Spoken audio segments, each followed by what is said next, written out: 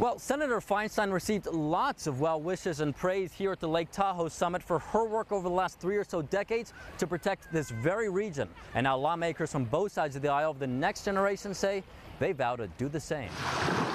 At Kings Beach on the California side of Lake Tahoe, Hundreds of people gathered for the 27th annual Lake Tahoe Summit, an event all about protecting this region and addressing climate. The climate crisis is so urgent. Congressmember and former House Speaker Nancy Pelosi gave the keynote address. She was among several California and Nevada lawmakers from both sides of the aisle who urged action, especially to protect regions just like this one. Because the climate crisis is having a direct impact it's a dire impact on both of our states. We can all agree on the goal of protecting something that is larger than any of us. That's why Democratic and Republican lawmakers who spoke here say they support extending the Lake Tahoe Restoration Act through 2034 instead of letting it expire next year. For more than two decades, the legislation has provided resources and funding for the lake and surrounding areas. We have a responsibility for uh, protecting today's lake and the lake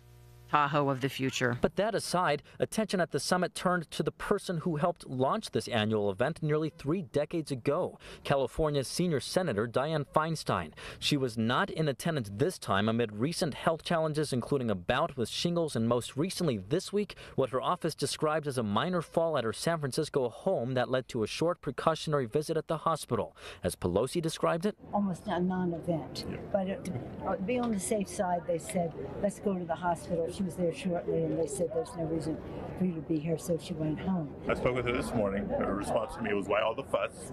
Yeah. Uh, classic Dianne. So she's back at work and at a critical time. Speakers at the summit paying tribute to Feinstein and her career. She herself even pre-recorded this audio message. Thank you all for supporting this magnificent lake, the jewel of the Sierras. I wish you all the best. I look forward to seeing you soon. And California Governor Gavin Newsom did not attend this conference, but Nevada GOP Governor Joe Lombardo said the two met earlier this week and are committed to protecting this environment. Reporting from Lake Tahoe, covering local news that matters, Eytan Wallace, Fox 40 News.